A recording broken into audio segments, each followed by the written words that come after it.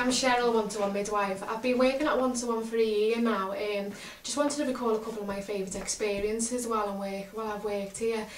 The first one being um, actual promoting of normality and making women believe that they can actually birth without any fear, without being scared, and actually have a home birth and a birthing experience that they, that they deserve, really.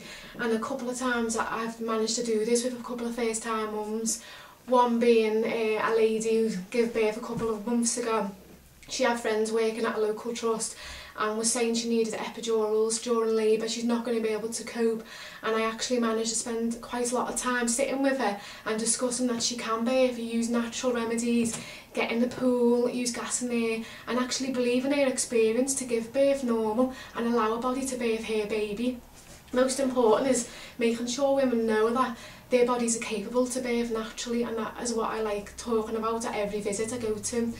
Um, so the night she rang me saying her waters are broke, but she'd also told her other midwife that these waters are broke and she told her to get the hospital immediately.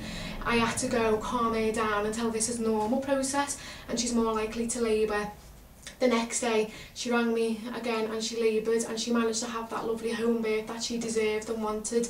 The overwhelming experience on her face, her mums and her partners was was amazing and it actually made me cry. One of the first births I actually brought a tear to my eye. But yeah it was it was lovely and that was one of my experiences and something that I cherished with my women and promote all the time. That's that's it. Thank you